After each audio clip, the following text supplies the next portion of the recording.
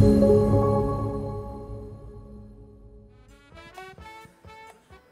right, we're going to move right into the next session. Uh, this is uh, medical imaging and biomedical diagnostics. We are delighted to be here today. We have quite a, a amazing panel for you to talk about imaging and diagnostics. Um, we will use the same format as the last panel, a series of brief talks, and then we'll have questions and answers. Uh, to my left is Ronan Talbotzer, who's the CEO of a medical diagnostics company. To his left is Jeremy Howard, who's the CEO of a medical imaging deep learning company. And to his left is Paul Finn, who is a cardiovascular imager. My name is Kurt Langlotz. I'm a, a chest radiologist and uh, run an AI research lab. And I will begin. No, I will not begin. Slides are these? All right, Jeremy will begin. Here we go. Oh.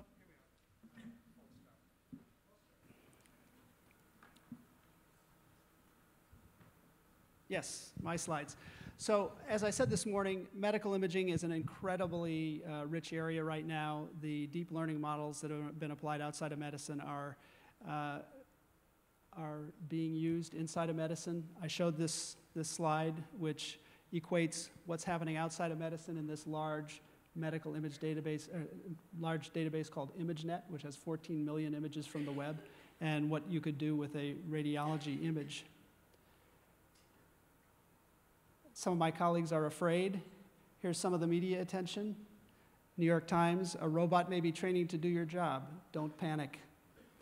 Uh, robots will replace doctors, lawyers, and other professionals. I don't really think this hype is, uh, is on point. I think that, uh, as we said this morning, radiologists have been using high technology in service of their patients since the first large generator generated the electricity needed to run a Crookes tube to generate x-rays back in 1905. And this will just be one more technology that physicians will use uh, in service of patients and increasing our diagnostic acuity.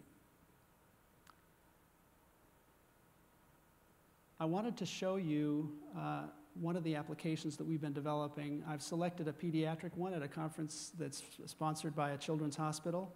And this has to do with bone age. So there are many instances in which the physiologic age of a child is, uh, needs to be known. And this is due to developmental delay or for other reasons. And the way that we can do that in uh, radiology is by looking at an image of the child's hand and looking at how the bones mature. So you'll see that really in this radiograph to your right, there are very few wrist bones. This is an eight-month-old child. Gradually over time, those wrist bones will fill in. And then gradually you'll see the distance between the finger bones start to narrow as the child gets older.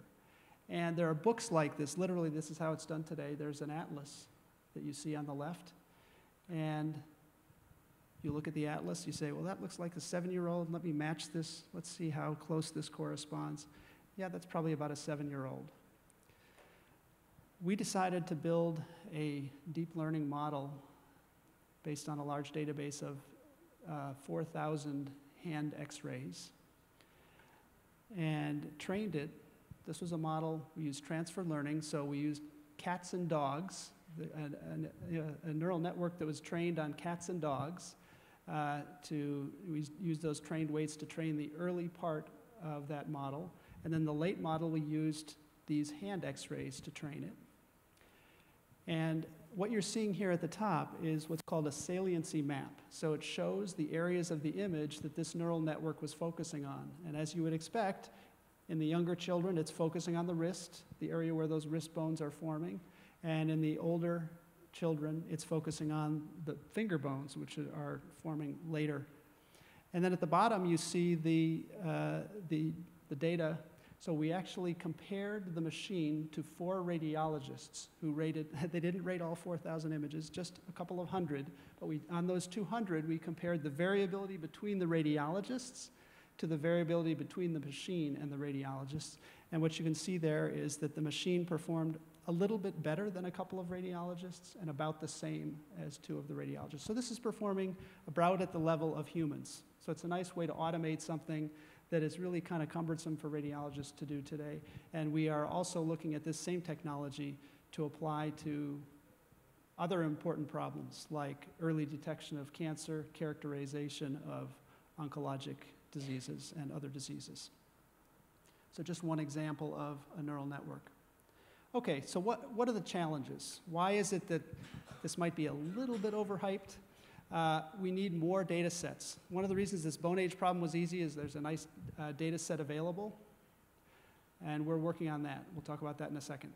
Last mile problem. Let's say I have a great model up in the cloud. How do I get the data from my patient record? This is imaging data, so substantial amount of data from the record up to the cloud, do the analysis where we have the computing power to do these analyses, which are computationally intensive, bring it back to the clinician in time to provide decision support. That turns out to be a very important problem. Regulation. So there are probably hundreds, we've done an analysis, two to 300 different diseases typically that we need to be looking for. There are 22,000 or so different features on images that we need to try to find. Imagine trying to build a classifier for each of those and going through FDA approval or something like that if you're do, using it for direct patient care. So regulatory issues are important. Uh, it will be slow progress in terms of getting these actually to patients. Does computer-aided detection even work? So we've been using computer-aided detection in breast imaging for many, many years. And these two studies at the bottom here recently published very large studies showing that it really hasn't had much effect on our accuracy, the detection part. And then just the scope and, and different data characteristics. So this nice 14 million images of cats and dogs from the internet that's shown all this progress uh, is 224 pixels by 224 pixels. Our images are not like that. So I want to show you what that looks like. Here are radiology images. So radiography is 2K by 2K, 16-bit depth. Uh, we have nuclear medicine, 128 by 128, and you can see the various bit depths, the dimensions. Some of these have time dimensions. Often these are uh, volumetric Im image data sets, three-dimensional, very different types of data sets. So you can't just take one of these off-the-shelf models that have been trained on cats and dogs and use it easily to pro provide medical advice. We are, in terms of data set availability, we're building uh, essentially a medical image net using the Stanford radiology data. Here you see it, four and a half million studies, about a billion images, a half a petabyte of data. So we're putting this in the cloud linked to all of our EMR data for research. Opportunities that I think are important, other than computer-aided detection. So Im imaging utilization. How do we decide what's the right test to do at the right time? Good application for machine learning. Quality control. When the images are obtained, are they of good quality for interpretation? Do they represent the patient accurately? Workflow optimization. How do we distinguish a case that maybe it's normal or might be normal or maybe it's an acute problem? Let's pop that one to the top of my work list so it gets looked at first by the radiologist.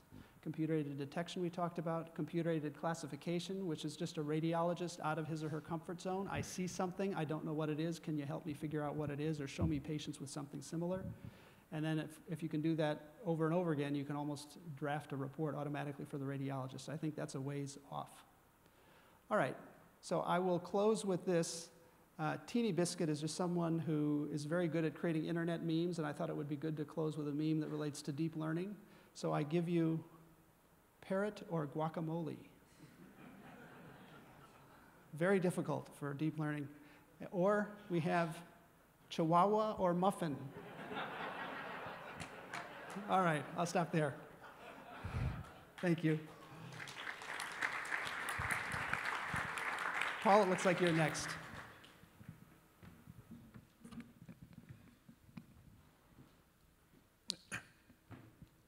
Thanks, Curtis.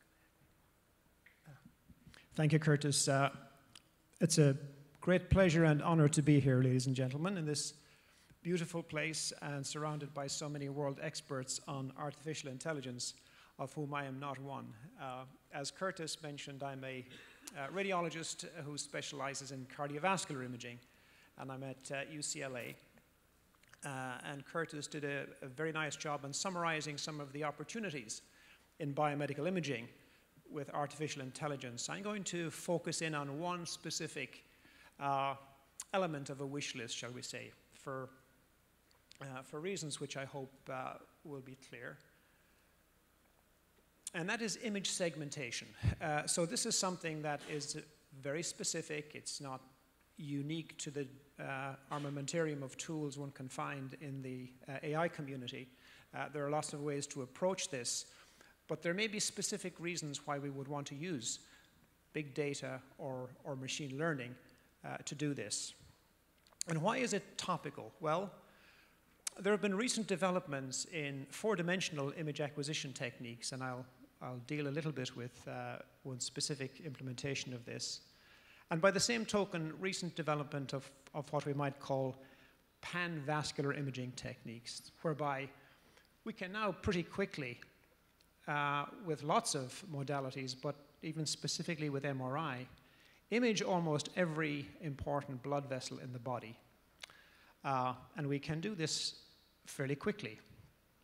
Um, and this has got workflow implications uh, and, uh, and clinical implications because uh, it suggests that we might uh, shift the time and workflow from the acquisition, which is where we focus it at the moment, uh, to post processing and analysis, to basically analyzing and try to make sense of these data. So, in cardiovascular imaging, um, we've been doing this for many years. Image segmentation is not new. Uh, but most current, M current MRI methods are based on sequential 2D slice data. So we take a slice like a slice through a, a loaf of bread, and we build up a 3D image by looking at these sequential slices over, over time or distance. This has got advantages and drawbacks. And most of these tools require user input and interaction, often quite a lot. Now, some tools exist uh, for fitting these 2D data to 4D deformable heart models. Uh, and one particularly insightful and successful story has been the cardiac image model uh, developed at the University of Auckland. This, again, is a, to some extent a, a learning model whereby uh, the model is updatable and gets better and better over time as, as more subjects are input to it. But again, it's, it's got some, some limitations. And more recently, methods have been developed, as I mentioned, that acquire 4D cardiac MRI data uh, directly. And because this is a, uh, a meeting organized uh, by CHOC, and I compliment uh, Dr. Anthony Chang on doing a fantastic job. Um, these are images that uh, are generated directly uh, in a sort of a four-dimensional way, uh, using a technique which we developed at UCLA called MUSIC. It's an MRI technique, and what you'll notice is that all of these different portions of the vascular tree have got a different color. Uh, this didn't happen spontaneously. uh, somebody spent a lot of time segmenting out these various portions of the heart and the blood vessels after the fact. Now, this is something that's very desirable to do uh, for lots of reasons, uh, but it's very time intensive, uh, and it's something where potentially uh, a learning, machine learning approach could be enormously useful because sometimes these types of data might be time sensitive. Not only is it important to, uh, to make it inexpensive to get them, but sometimes it's important to get them quickly. And here's another example. Uh, here we can see that in the same sort of uh, type of image, uh, we've segmented out the left heart from the right heart. The left heart is colored in red, uh, the right heart in blue.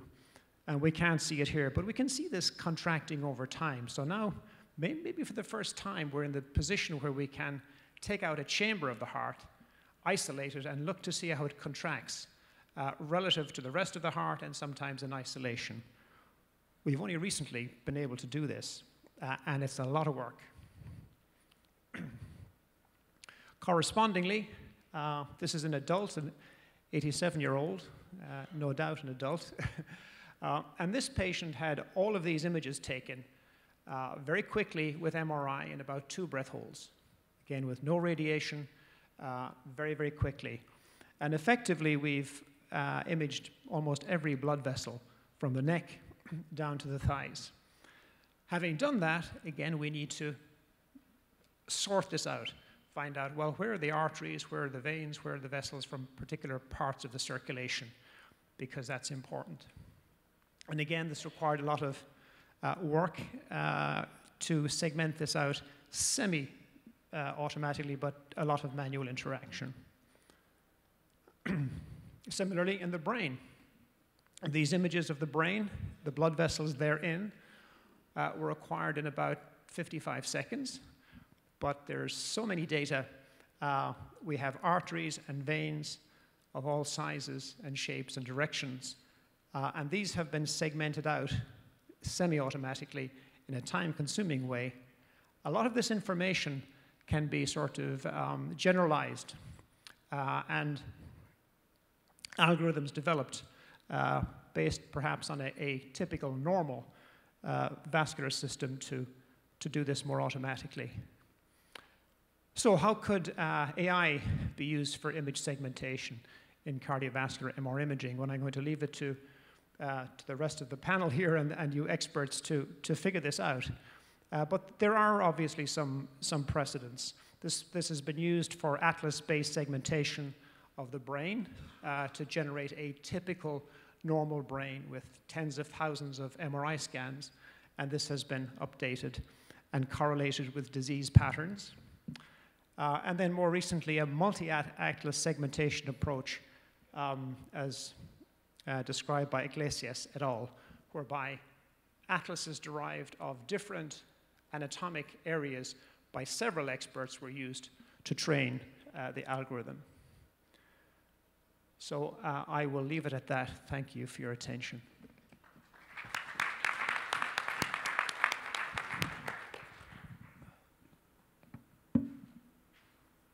Next, we have Ronan. No, I'm sorry, Jeremy. Thank you. Thanks, Paul. Um, so uh, I might skip through my slides quite quickly because I'm actually Kurt's, Kurt, Kurt's um, presentation was much more interesting than mine, so I'd rather talk about some of the things he talked about. Um, but I'll, I'll, just skip through this quickly. Uh, I, um, um, I actually don't specialize in medical imaging anymore, but I did uh, previously, uh, some years ago, create the first uh, deep learning for medicine company, and I did particularly initially focus on um, medical imaging and radiology.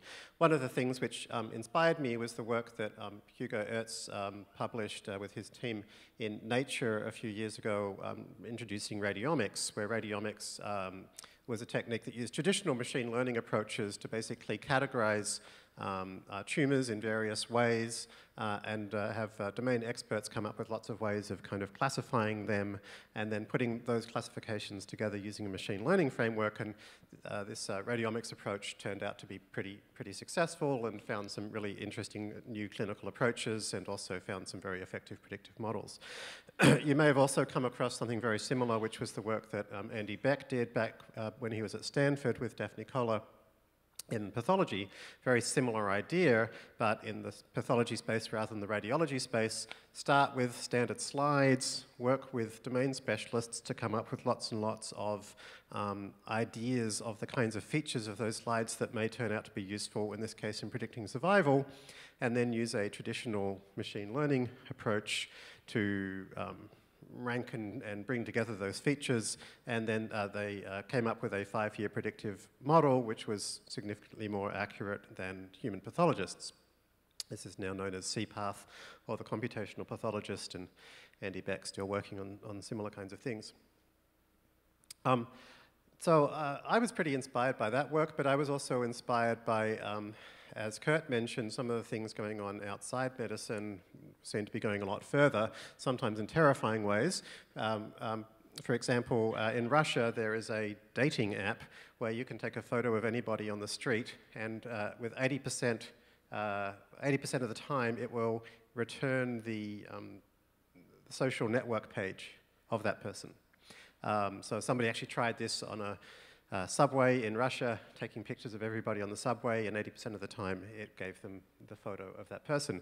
Um, this uh, exciting opportunity is being driven by a particular type of machine learning called deep learning, which you'll be hearing me talk about quite a bit over the next couple of days. Um, another example which I saw of deep learning that really brought the medical example to mind was something that Baidu did. Baidu is kind of the Chinese Google, if you like, um, which is where I uploaded this picture of a dog to Baidu. And then what Baidu said is, here are some similar images. Now, I didn't upload any text or any information about the dog. I didn't upload the link of where the dog came from, and yet it figured out that this was a, a golden retriever, front on, grassy background with its tongue out, so on and so forth, right? And I kind of thought, what if this was medicine? What if this was a picture of a, a 3D, uh, you know, CT scan of a lung that I'd put up, and, and it had done just as good a job as saying, here are six people who have lungs that are exactly like this one in all the most interesting and important ways. So, um, inspired by some of this, I kind of thought, I wonder if we can put this stuff together. And um, this, is, this was my background up to then. Um, I uh, majored in philosophy, worked in consulting, um, run some various startups. Um, but perhaps most relevant to this was I was involved uh, on a platform called Kaggle, which is a platform with uh, over half a million uh, machine learning practitioners who compete with each other to try to come up with the best um, solutions. And the most proud thing in my life, actually, to me, is, is that I got to the number one rank on this platform. Um, and so I, I, got to know um, uh, you know, all the best data scientists in the world and all the best techniques that they used and all the hardest problems that were put on this platform. Um, and then I combined that with my medical experience, which I have put on a separate page, um, which was slightly terrifying because I actually spent a lot of time trying to figure out what I should do with this, this knowledge and skills I developed, and I was sure that the answer was medicine. Because half of medicine is really data analysis. You know, it's the what's wrong with this person and how do we make them better? You know, is, is data analysis. Um, but without any background in medicine, that seemed like a terrifying thing to do. Um, but I did it anyway. Um, we put together a group of four people and we tackled the problem of can we uh, identify malignant lung cancers um, and within two months, uh, we had built a system which was uh, significantly more accurate um, than the published results of four of the world's best radiologists, both false positives and false negatives. Um, this was exciting enough to create a company on the back of it, and that company went on to become pretty successful, and that's still going strong, um, uh, called Enlitic. Um, it's interesting to see that this idea of people with no medical background going in, in, into medicine, and particularly medical imaging, uh, successfully is not unusual. Um, you might have noticed uh, recently a couple of hedge fund analysts had a go at um, looking at uh, a particular cardiology question, uh, looking at diastolic volumes, and uh, came up with a system that was better than the state of the art and also better than doctors. Um, or even more recently, that uh, Google um, actually built on top of a Kaggle competition result looking at diabetic retinopathy and uh, have a system which, uh, looking at uh, hundreds of examples, is clearly more accurate um, than um, doctors at uh, this very common question of, of trying to diagnose uh, diabetic retinopathy. Um, the um, so uh, from this, I feel very excited about the opportunities for deep learning in medicine. Um, as Kurt said, um, there are challenges, and we certainly faced some of them. Um, um Kurt and I should probably talk because we actually solved some of the ones he mentioned. Um, data set availability really happens when you talk to commercial organizations as a commercial organization. It might be harder as an academic. We found that every major hospital group has huge PACS archives, um, often with associated radiology reports and we did a lot of uh, deep learning for natural language processing to kind of pull structured data out of the reports and try to correlate that back against the um, CT scans and so forth. Um, the last mile issue also very challenging. Um, we found the solution was not to put things in the cloud, um, but actually to put the processing power um, inside the radiologist's suite. You can buy a, a very powerful GPU for about $300. Um, they generally come with a free copy of the latest computer game as well, so that's a good deal. Uh, so the radiologists then can uh, save themselves a lot of time and have, uh, in their spare time, they can then play some computer games. Um, one thing I wanted to mention in many of the things you've heard is um, after Randall's talk, I saw one of the comments on the board was, can we stop with these comparisons with doctors? And I just wanted to point out the, the reason you see these comparisons with doctors is not because I think anybody's trying to get rid of them. So like in my case, um, I really started doing this because there's one-tenth of the number of radiologists that we need in the developing world. And so our goal was to make radiologists far more productive. Um, and by making them far more productive, we can bring modern medical diagnostics to those people that don't have them, which is most people. Um, the thing is, though, it's much easier to start your assessment by saying, how can we compare versus a doctor, um, to get to the point to, to say, how well could a doctor plus this do it's just kind of the next step, and I think a lot of people haven't got to that yet. So I think generally when you see people comparing to doctors, they're not saying let's replace doctors, they're just saying, you know, this is our way of prototyping whether this seems like an effective approach or not. Um, okay, so I'm out of time. Um, and uh, so the, the, um, I'm just going to close by mentioning segmentation. Um, there's actually a huge amount of work that's been done in segmentation in the last six months in the deep learning world as well. Um, and one of the difficult things here in comparing to like CAD is that the deep learning velocity right now is kind of doubling capability every month or two. Um, so whatever you thought you knew about what deep learning can do is some doublings old, depending on how recently you read the literature. So that's one of the very hard things in terms of uh, keeping up with that. So thank you.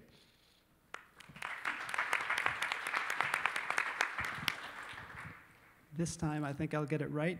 It's Ronan's turn. Thank you, Kurt. Good afternoon. Um, my team asked a very fundamental question how AI can really impact the basics of biomedical diagnostics. And the clicker. Should do an AI for that as well. All right. So um, this is a very generic question. We, in particular, were focused more on uh, three viruses, hepatitis uh, B and C, and HIV. Uh, and this work has been uh, conducted under uh, Gabi, the uh, Program for Genomics and Biomedical Informatics.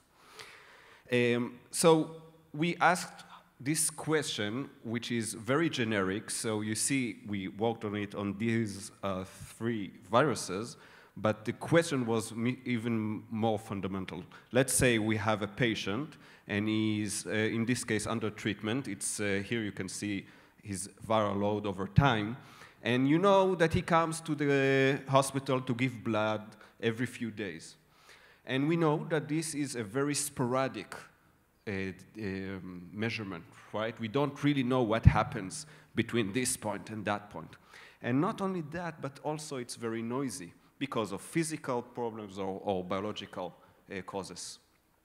And the question is really, is this way of just connecting the dots in a very linear way, does this really represent the actual reality that happened in his body? Maybe a different physician would do this kind of interpretation. Well, in this particular case, we know that that was the right dynamics, where for each phase there was a mechanical reason, a biological reason. This phase was stopping, represents the stopping of cell infection, this phase, the second phase, is steady state, represents immunological equilibrium, and the last phase is the death of, of infected cells. Now, AI, of course, can take as input those data points and come up with uh, interpretation with such kind of a profile. So this is the most common algorithm, bottom-up segmentation. It is a mathematical solution, very good mathematical solution, knows nothing about biomedicine, nothing about biology. And this is, it just connects adjacent uh, uh, segments because of mathematical constraints, and that's it. So we wanted to do a much better work on that. In a wider context, you can think about this as a very fundamental problem, not really just connecting the dots. Here you can see two variable, viral load and ALT, and the question really for the same dots, for the same data set, you can have multiple uh, different uh, interpretation. Here, what was so interesting is to see that while when the immune system got into action, there was a decrease of uh, viral load, and at the same time, a blip, a temporal blip of ALT. This is, of course, because of uh, attacking uh, infected cells, so ALT was released to the blood. And this is a diagnosis or diagnostics that is very important, but it is very hard to detect that just from the data. If we connected the dot, it wouldn't really uh, represent that picture. So we wanted to teach AI biology. We wanted to take things, facts from or considerations from the biological textbook and teach algorithms to think that way. So I will show you two considerations, for example. One is a delayed regulation. This is a consideration saying that following a treatment, it may take time for regulation to be established. So we expect more phases in the beginning. So if this is an interpretation of, of the data, and we have the uh, uh, inflection points here, we have a mathematical formula to give it a penalty. So the penalty is here is relati rel relatively high. However, if AI consider, considers a different solution, let's say this, where the inflection points are closer, so there are more phases in the beginning, as we said, the penalty of that mathematical formula is lower.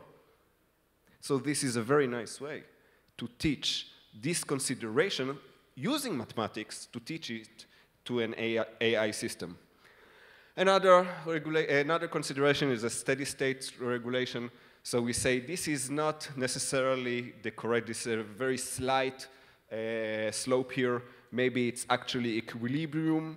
So we will give that interpretation a better grade, a better penalty, a lower penalty. Next is we need a vehicle to do all those um, trial and error and looking for the correct interpretation. So we already talked about neurons and perceptron. Of course, we needed to wrap it up in a machine learning in a neural network framework, so we did that.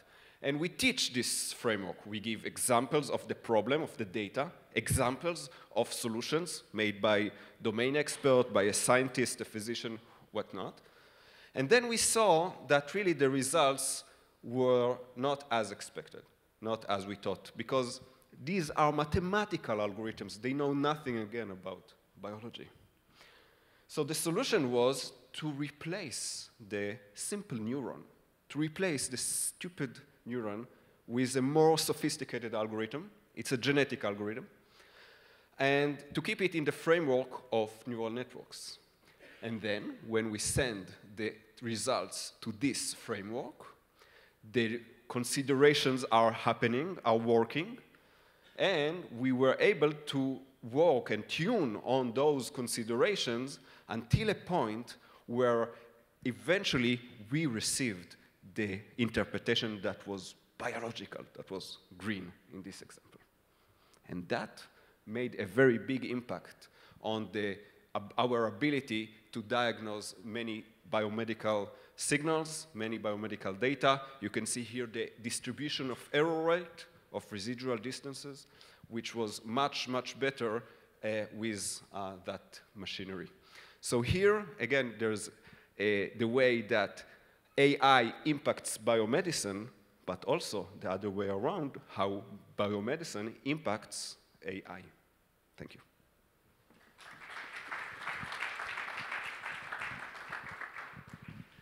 Well, I want to thank all the speakers. Those were uh, stimulating talks. I think uh, will provoke some good discussion. We already have some good comments over the uh, over the the iPad here.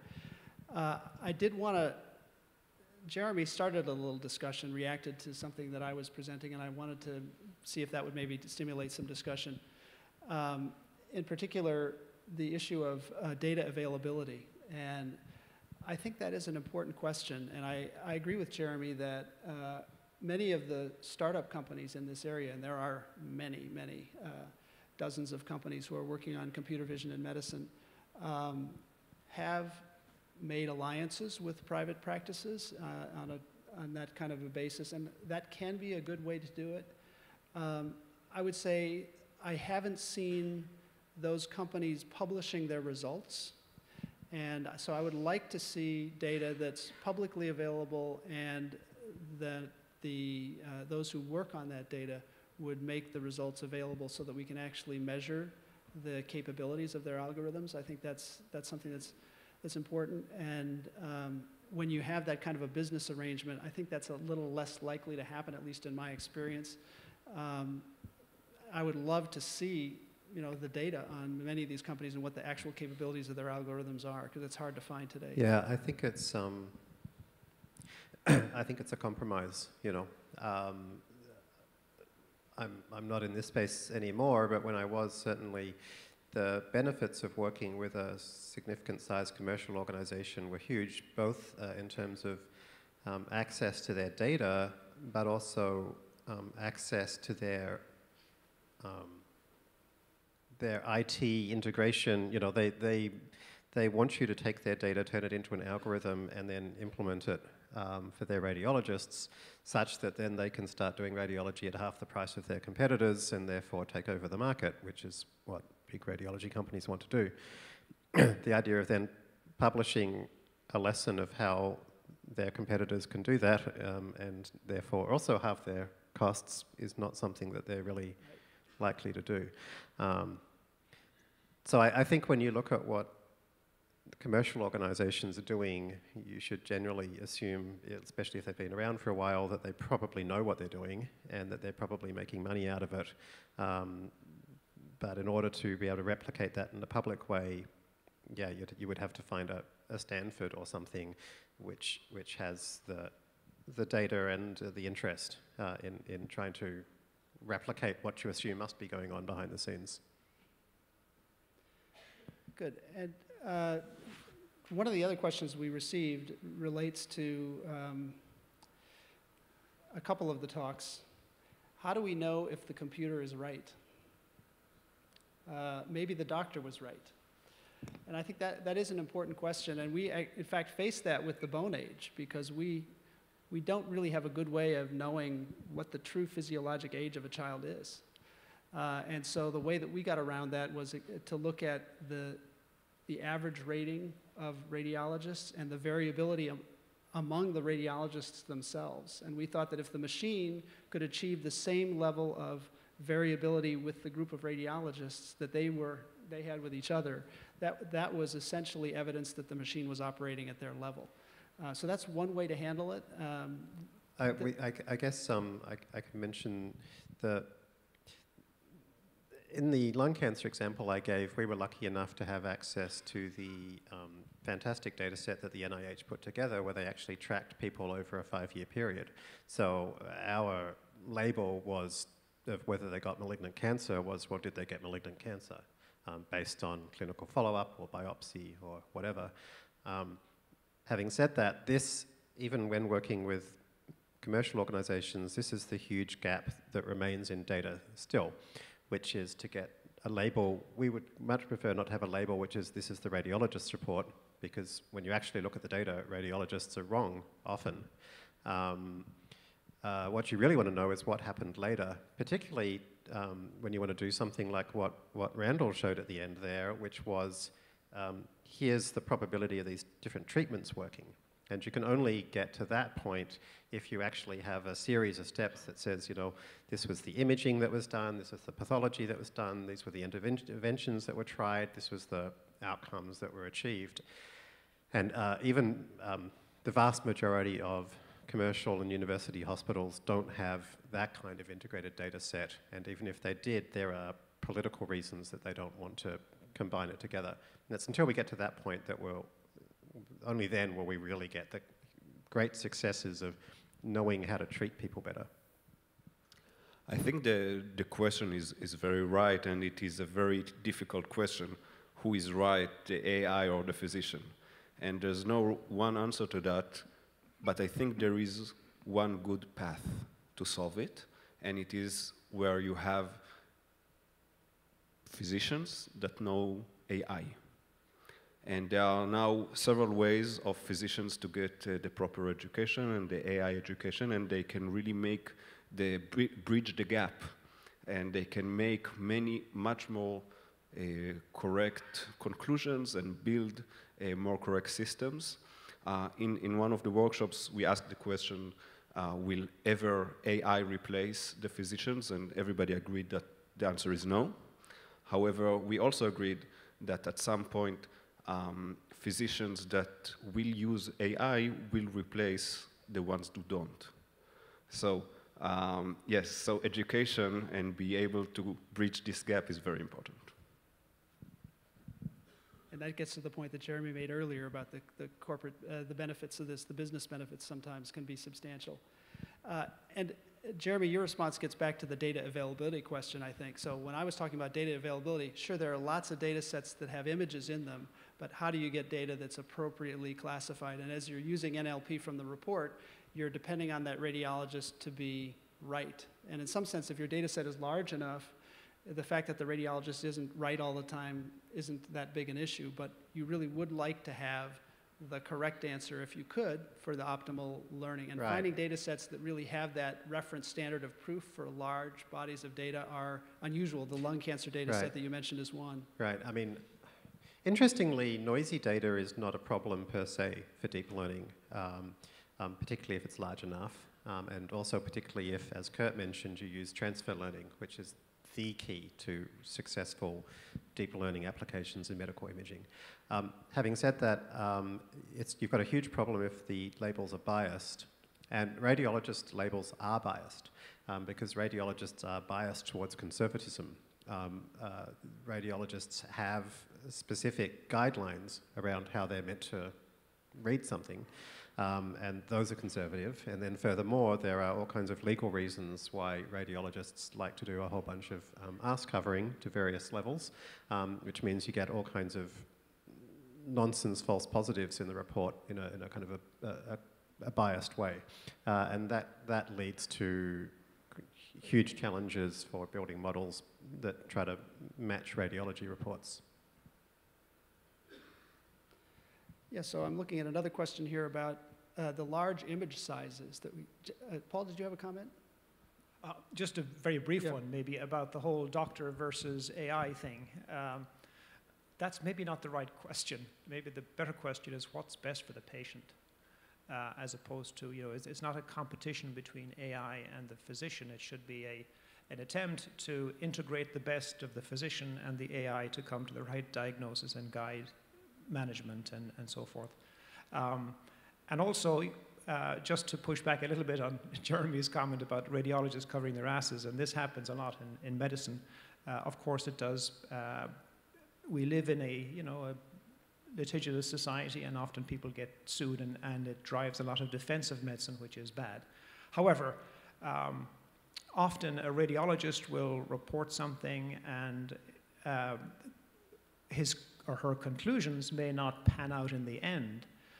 And the question is is that an error in interpretation, or is it just that he or she had insufficient data and at the time it was a reasonable interpretation of, of the images? So there's no one question, I think, here. It all has to be interpreted in context.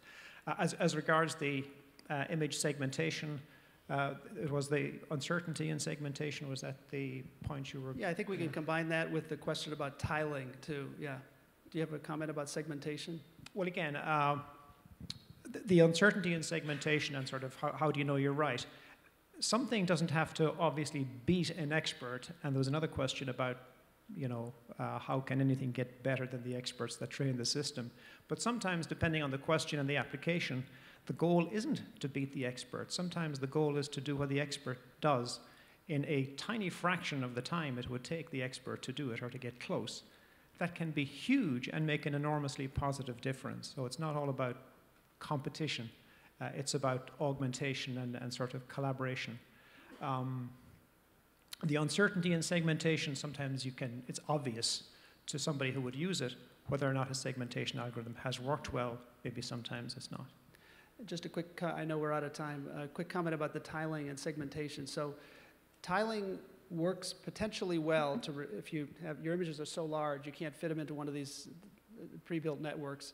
Tiling will work depending on the problem. So if you're looking, let's say, for the tip of a, of a tube or a line, you can look at the tiles and say, is there a tube or a line here? Is there, is there, is there? And ask that question over again. That works well. But if the disease that you're looking for sort of spreads out across the entire image, something like pulmonary edema, then it becomes much more difficult to do that kind of tiling approach. But that can be a very effective way to, uh, to reduce the problem. And segmentation is, in fact, an extreme form of that, where every pixel becomes a tile. And you're saying, is this in the organ, is it out of the organ? And that's where your, your data set size increases and it improves the learning ability because you're looking at each pixel individually.